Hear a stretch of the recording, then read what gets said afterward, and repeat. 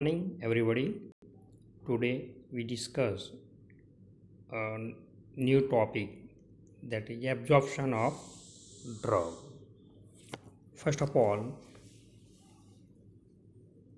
we discuss the definition of absorption. The process of movement of unchanged drug from the site of administration to the systemic circulation is called as a absorption. The effectiveness of the drug can only be assessed by its concentration at the site of action. It is difficult to measure the drug concentration at such site. The concentration can be measured more correctly in plasma as there always a correlation between the plasma concentration of drug and therapeutic response. These are the st structure of cell.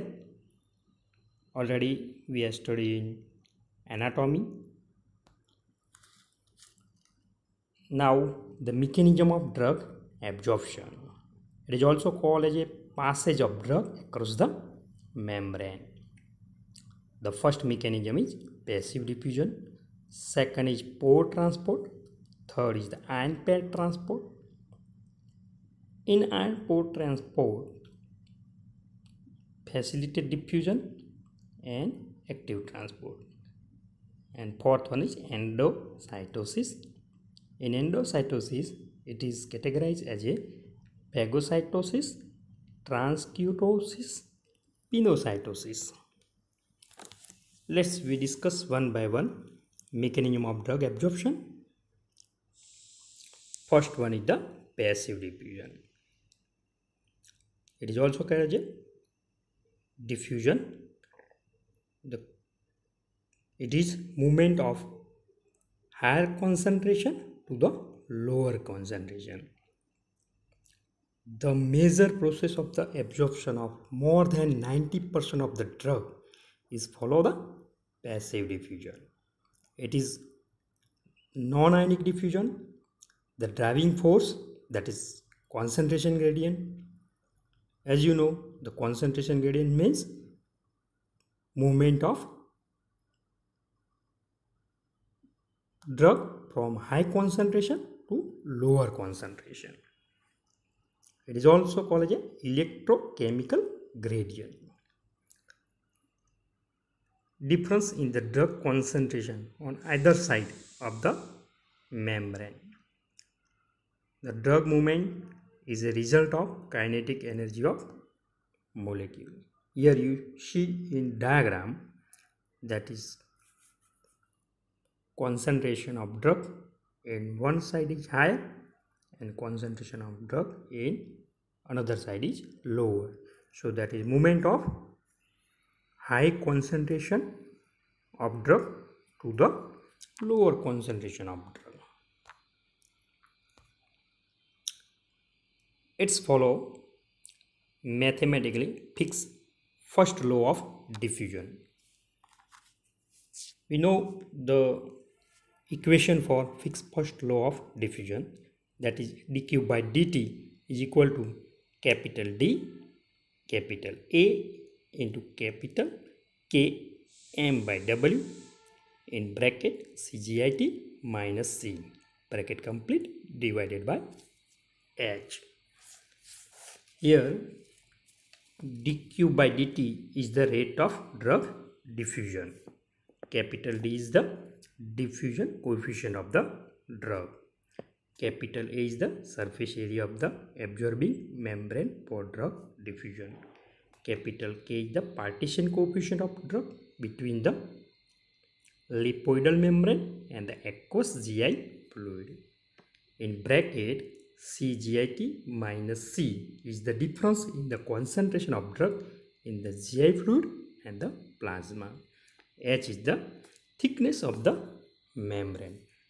Here issue the H is inversely proportional and the remaining one that is DAK and in bracket CGIT minus C is directly proportional to dq by dt. So characteristic of passive diffusion is it is energy independent, greater the area, lesser the thickness of membrane, faster the diffusion. So as we uh, see in previous equation that is thickness is inversely proportional and area is the directly proportional. The process is rapid over for short distance. The concentration equal on both the side of the membrane and equilibrium is attained. So at that time the process is stopped. So uh, one side always the concentration remain low. That must be required. And it is called as a sink condition. Right? The greater the passive concentration of the drug faster the absorption. The passively absorbed drug enter the blood rapidly swept away and distribute into the large volume of body fluid. Hence, the concentration of drug at the absorption site CGIT is maintained greater than the concentration in the plasma. So it is called as a sink condition. Remember that thing. The concentration at absorption site is always higher and the concentration in the plasma is always lower. That's why it is called as a sink condition. And it is necessary for movement of drug from higher concentration to lower concentration. Under unusual absorption condition here d capital d capital a capital K, M by W and H. These are the constant.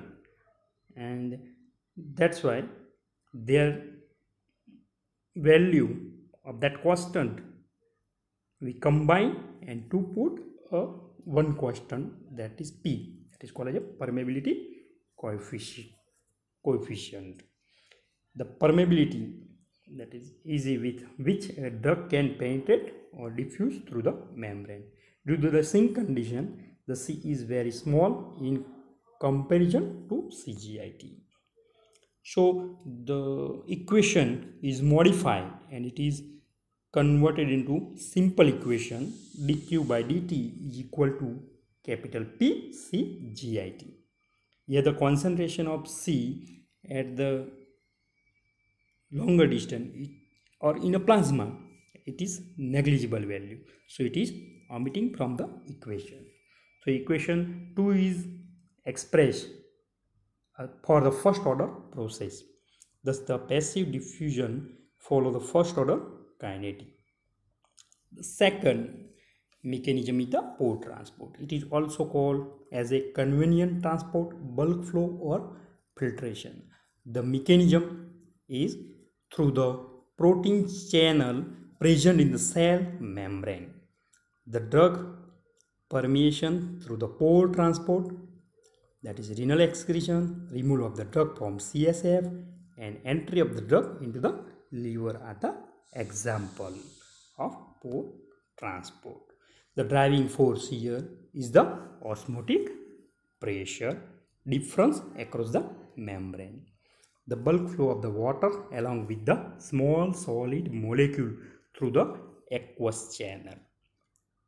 Then the water flux that promotes such a transport is called as a solvent drag.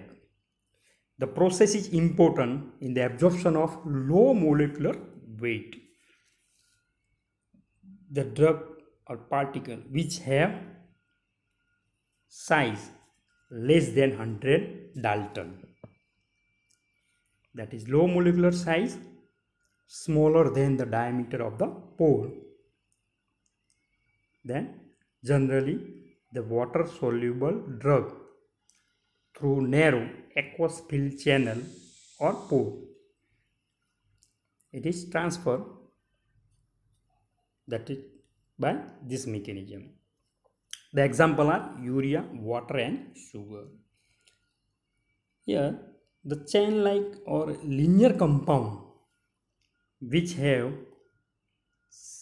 molecular size that is greater than 100 and up to the 400 Dalton then it is transfer by filtration. Third one is the ion pair transport. The responsible for absorption of compound with ionize at all pH. The example is quaternary ammonium compound, then sulfonic acid. The ion ionized mo moiety from the neutral complex with endogenous ion which have both the required lipophilicity and aqueous solubility for passive diffusion. The example are propranolol, a basic drug that form a ion pair with oleic acid and is absorbed by this mechanism. The carrier mediated transport involve a carrier which reversibly bind to the solute molecule and form a solute carrier complex. These molecules transfer across the membrane to the other side and dissociate and yield a solute molecule. The carrier then return to the original site to accept a new molecule. These are two type of carrier mediated transport. The first one is facilitated diffusion and second is active transport. So you see in diagram carrier mediated transport. The drug they are bind with the carrier and the carrier they are transfer from drug from one side to another side and it is release out the drug from the other side and the carrier again take place its original place. Facilitated diffusion the facilitated diffusion is the form of carrier transport that does not require the expenditure of cell energy. The carrier are numerous in number and are found dissolved in cell membrane. The driving force is concentration gradient. The particle move from a region of higher concentration to lower concentration. The transport is aided by the integral membrane protein. The facilitated diffusion mediated the absorption of some simple sugar, steroid, amino acid and pyrimide from the small intestine and their subsequent transfer across the cell membrane. Active transport. As you know, the name suggests the active means the energy is required which is provided by the hydrolysis of ATP. So the ATP is converted into ADP plus P. That phosphate provide the energy for that functioning. More commonly, metabolic energy is provided by the active transport of sodium or it's depend on the electrochemical gradient processed by the sodium pump. Here you see in active transport, the drug from extracellular fluid is transferred from one side to another side of the cell by using the energy and that energy get from ATP. That ATP destroy and release the phosphate that is ATP is converted into ADP plus P. This transport require energy in the form of ATP. The primary active transport, the characteristic is direct ATP is required. The process transfer only one ion or molecule only in the one direction. That's why it is called a uniport. Here the example of absorption of glucose. Secondary, secondary active transport.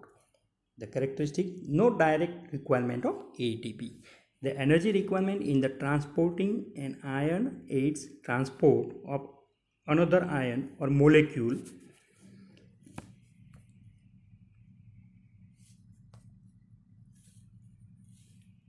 either in the same direction or opposite direction. It is two type that is co-transport. It is also called as a symport. Counter transport. It is also called as a antiport. Here seen uh, diagram the left side that is antiport and the right side it is symport. Endocytosis it is the process in which the cell absorbs molecule by engulfing them. It is also termed as a vesicular transport. It occurs by three mechanisms, phagocytosis, pinocytosis and transcytosis. Phagocytosis. So here the different steps are explained. The first one that is chemotaxis and adherence of microbes to phagocytes. The second step is ingestion of microbes by phagocytes. The third is formation of phagosome. And fourth one is fusion of phagosome with lysosome to form a phagosome lysosome. The fifth one is digestion.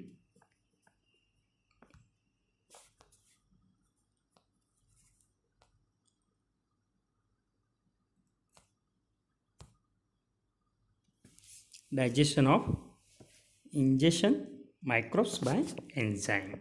And sixth one is formation of residual body containing indigenous material. And last one is discharge of waste material. Transcytosis. It is the process through which various macromolecules are transferred across the cell membrane. They are captured in the vesicles on one side of the cell and the endocytic vesicles is transferred from one extracellular compartment to another generally used for the transfer of insulin. These are the example. Pinocytosis. It is the formation of endocytosis in which the small particles are brought to the cell forming a invagination the small particle are suspended in small vesicles.